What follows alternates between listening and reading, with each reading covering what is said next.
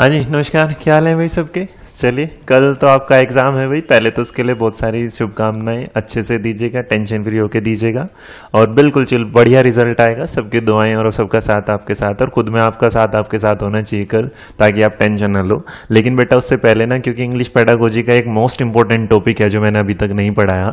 But last not the least वो इतना important होगा कि वो ना किसी चैप्टर के साथ तो नहीं आता, लेकिन जितने भी प्रीवियस सीटेड पेपर आए हैं, उसमें ना ये आते हैं। तो ये जो चैप्टर है ना, ये कौन सा चैप्टर होता है? वर्ड्स का अब ये वर्ड्स का चैप्टर क्या होता है? जरा दस मिनट में समझते हैं, क्या होता है? बड़ा ध्यान से समझना एक बार ठीक है? शॉर्ट में बिल्कुल।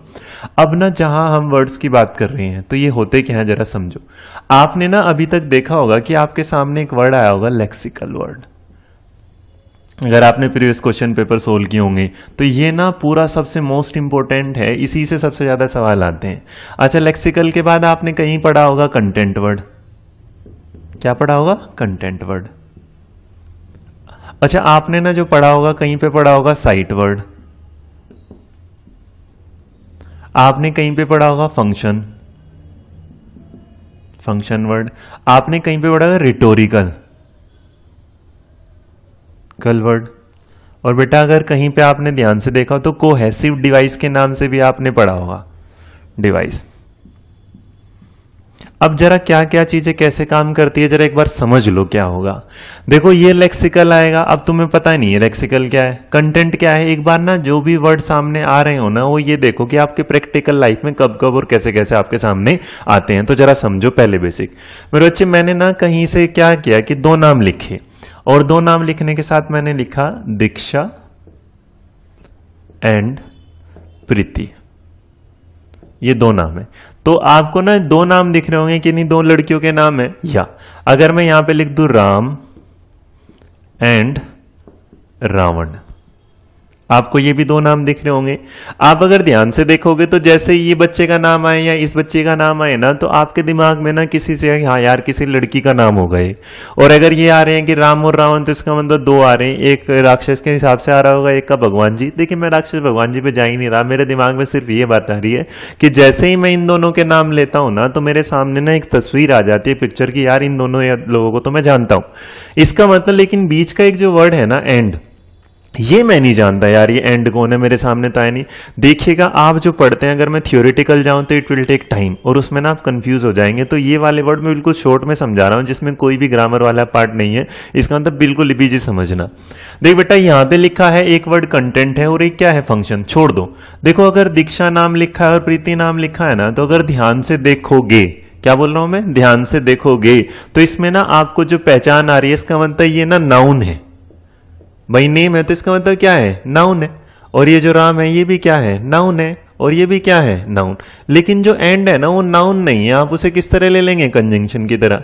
अच्छा एक बात सोचो। अगर मैं इस चीज़ को बिल्कुल ही छोटा कर दूँ, जो चीज़ अपना ऑथेंटिक मीनिंग रखती है, जिसके बारे में आप कुछ एक्सप्लेन कर सकते हैं, बेटा याद रखना, वो वाले वर्ड कहलाते हैं कंटेंट वर्ड क्या कहलाते हैं? कंटेंट वर्ड और जो कंटेंट वर्ड होते हैं, वही क्या कहलाते हैं? लेक्सिकल वर्ड किताबों में आपको डेफिनेशन मिलेगी जितने नाउन होते हैं प्रोनाउन होते हैं, ये सारी चीज़ें क्या लेक्सिकल मैं कहता हूँ चीज़ को आप भूल जाओ, बिल्कुल साइड में।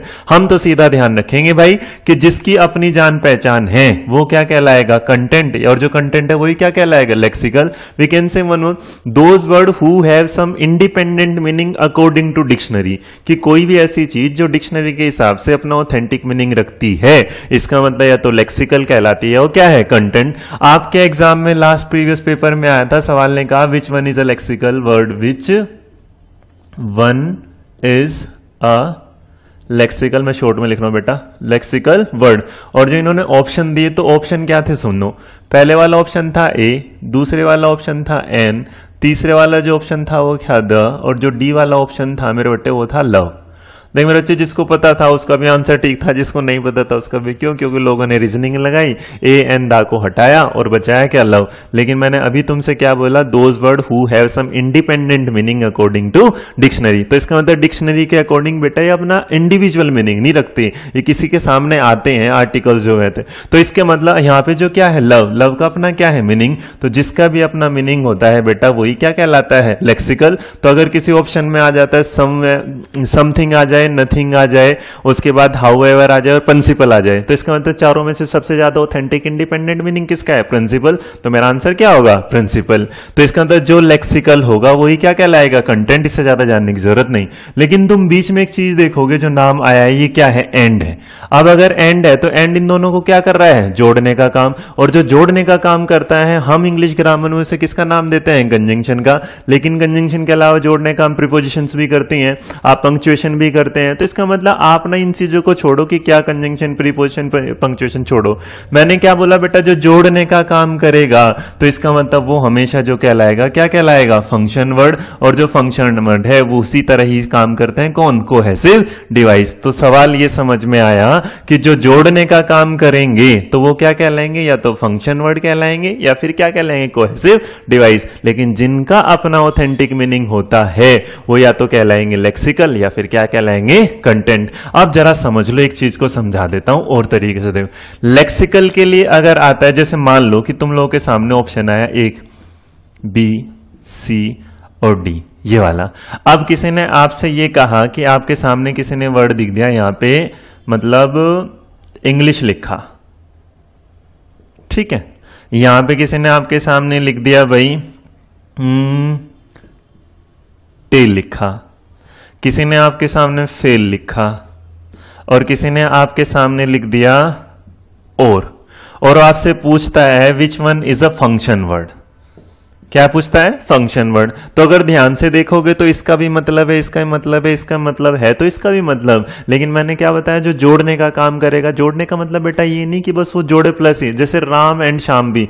तो राम और श्याम भी कर दोगे तो इसका मतलब जो और है, वो हमारा क्या कहलाएगा? फ़ंक्शन वर्ड और जो मैंने कहा फ़ंक्शन वर्ड होंगे, वही क्या कहलाएँगे? कोएसिव इसका मतलब लेक्सिकल क्या थे? जिनका अपना ऑथेंटिक मीनिंग होता है। और जो फ़ंक्शन होते हैं, वो क्या करेंगे? जोड़ने का काम। आ जाओ जरा यहाँ तक तो इसके बाद ही हुआ। अब ना सवाल सवाल के साथ ना अगर आगे बढ़ के देखें तो एक वर्ड क्या मिला है? साइट वर्ड और एक वर्ड क्या है? रिटोरिकल ये भी समझ लो जरा साइट वर्ड और रिटोरिकल वर्ड क्या होता है? देख मेरे बेटा, जैसे साइट है तो इसका मतलब साइट का किसी चीज़ को ना देखते ही। इसका मतलब बहुत सारे वर्ड आपके लाइफ में ऐसे आते हैं, जिनका देखते ही आपको मीनिंग समझ में आ जाता है। जैसे, अगर मैं तुमसे लेक्सिकल का पूछा, तुम बता दोगे, लेकिन अगर मैंने तुमसे अभी पूछा ना रिटोरिकल का, और तुम्हें इसका नंबर नहीं पता या इसका मतलब नहीं पता तो इसका मतलब ये तुम्हारे लिए साइट वर्ड नहीं है। Sight word those word who can identify without any complicated analysis की कोई भी ऐसा वर्ड जो विदाउट किसी कॉम्प्लिकेशन के मतलब आप बता सकते हैं, वो हमेशा क्या होगा? साइट वर्ड जैसे। अगर किसी ने आपसे पूछा कि बताइएगा कैट का मतलब क्या होता है तो आप कैट का मतलब देखते ही बता देंगे, दिमाग में बिल्ली है। लेकिन हो सकता है किसी के सामने एक वर्ड आ जाए फिट्स अगर फिट्स का मतलब पता है तो ठीक है, नहीं पता तो इसका मतलब सोचेगा तो इसका मतलब कॉम्प्लिकेटेड एनालिसिस तो करना पड़ेगा। और हमने कहा, जिसके साथ कॉम्प्लिकेटेड एनालिसिस करने की ज़रूरत ना हो। तो इसका मतलब दौरे पढ़ने का जिसको पता होगा, वो तो बता देगा साइट वर्ड है। जिसको नहीं पता होगा, वो नहीं। तो बेटा, जिन शब्दों का मीनिंग आप देखते ही बता देते हैं, वो क्या कहलाता है? साइट। एग्ज़ाम में कभी भी किसी भी तरीके से साइट के ऑप्शन नहीं आ सकते। क्यों? क्योंकि ये इसलिए, क्योंकि किसकी कितनी वोकेबलरी है, कोई भी नहीं जानता। तो इसका मतलब इसकी क्या आएगी डेफिनेशन तो बेटा, साइट वर्ड वो होंगे जिनको आप देखते ही क्या कर लेते हैं, समझ लेते हैं जिनके बारे में बता सकते हैं।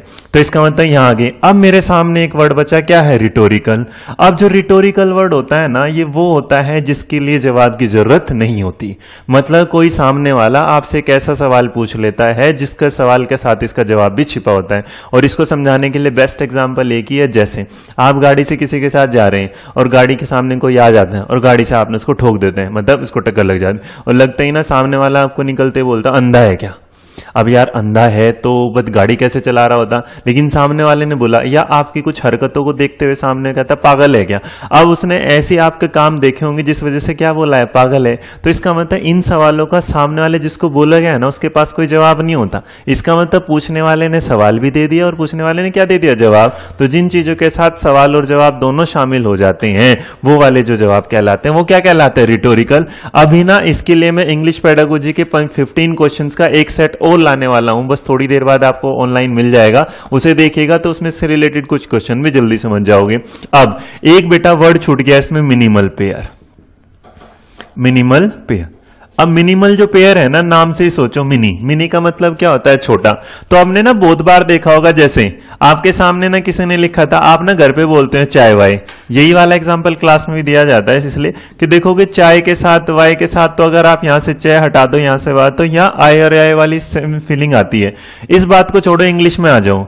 अगर आपने एक तरफ़ लिखा है एट दूसरी तरफ़ भी एट तो इन दोनों का प्रोनाउंसिएशन फ़िलहाल क्या होगा? सेम लेकिन मेरे बेटे, अगर इसके सामने लगा दू आर और इसके सामने लगा दू सी तो इसका अंदर प्रोनाउंसिएशन बदल जाएगा और क्या बन जाएगा? कैट और कैट इसी तरह अगर एक चीज़ और देख लिया जाए, जैसे आर्क ए आर के अब ए आर के है तो इसका मतलब आगे कुछ भी लगाओ। देखो, आगे क्या लगाओगे? एम तो बन जाएगा क्या? मार्क अगर यहाँ पे लगाओगे तो क्या बन जाएगा? पार्क पी को हटा के अगर मैं कह दू, भाई ए को आर्क बनाना हो तो क्या बना सकते हैं? डार्क तो इसका मतलब देखो, जैसे ही पहले वाला लेटर चेंज होता है, वैसे इसका प्रोनाउंसिएशन भी क्या है? बदल जाता है। तो सामने वाला तुमसे पूछ लेगा what is the meaning of minimal pairs या minimal pairs is use for कि मिनिमल जो पेयर है, वो किस लिए इस्तेमाल किए जाते हैं? तो याद रखिएगा, वो हमेशा ना प्रोनाउंसिएशन के लिए क्या है? यूज़ किए जाते हैं। तो एक बार इसका ब्रीफ में समझाते हैं ताकि याद रहे मोस्ट इंपोर्टेंट वाली लेक्सिकल और कंटेंट क्या करते हैं? सेम जिनका अपना ऑथेंटिक क्या होता है मीनिंग इसका मतलब ऑप्शन चार ऑप्शन में से कोई एक ऑप्शन ऐसा होगा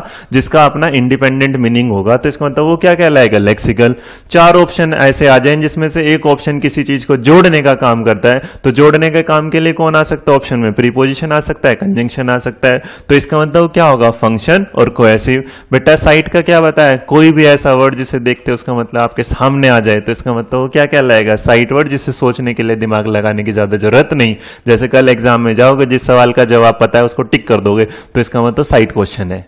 और जिसका नहीं पता तो इसका मतलब उसके लिए दिमाग लगाना पड़ेगा। और रिटोरिकल क्या बताया? जिन सवालों की जवाब के लिए ज़रूरत नहीं हो आंसर नीड की ज़रूरत नहीं होती, वो क्या कहलाते हैं? रिटोरिकल और लास्ट में बेटा क्या होता है? मिनिमल मिनिमल मतलब छोटे छोटे वर्डों का ऐसा एक पेयर जिसमें ना लेटर अगर फ़र्स्ट वाला चेंज हो जाए तो उसका प्रोनाउंसिएशन क्या है? बदल जाता है। इसलिए मिनिमल पेयर्स किसके लिए यूज़ किए जाएँगे? प्रोनाउंसिएशन के लिए। चलिए thank you so much for watching अब all the best again for tomorrow exam बढ़िया से दीजिएगा टेंशन फ्री होकर दीजिएगा।